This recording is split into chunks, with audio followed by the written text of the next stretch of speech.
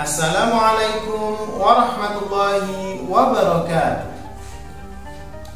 الحمد لله اللهم صل وسلم على سيدنا محمد وعلى آل سيدنا محمد أما بعد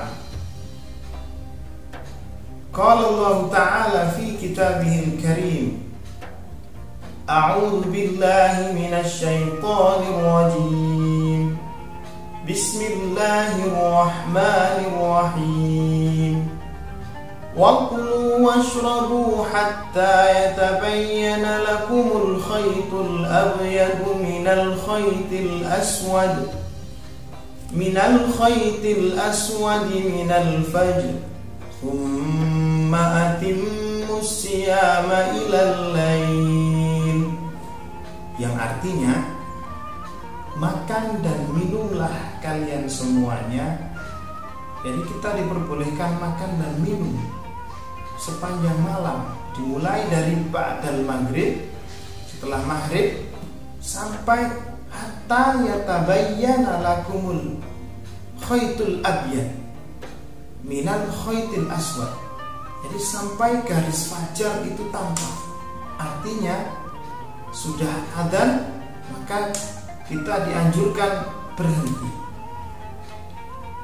Kali ini Ustadz akan membahas tentang sahur. Di dalam sahur ada kesunahan dan keberkahan. Tepat adan fajar, adan subuh, kita menyelesaikan makan kita. Akan tetapi Rasulullah memberi batasan.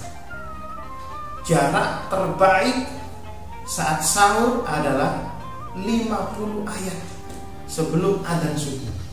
Artinya keberkahan serta kesunahan itu terletak di akhir. Kita disunahkan untuk mengakhirkan sahur.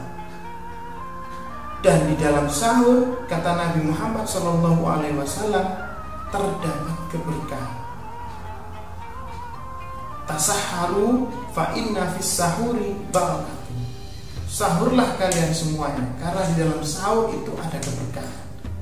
Di dalam hadis lain Rasulullah menjelaskan inna fasla ma baina siyamina wa siyami ahli kitab aklatas Perbedaan puasa kita dan puasa ahlul kitab sebelum kita terletak pada sahurnya.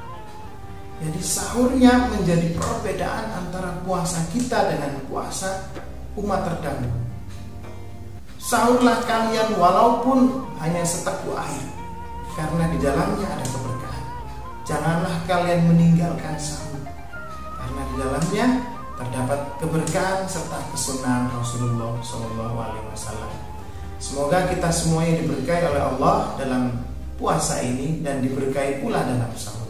Assalamualaikum warahmatullahi wabarakatuh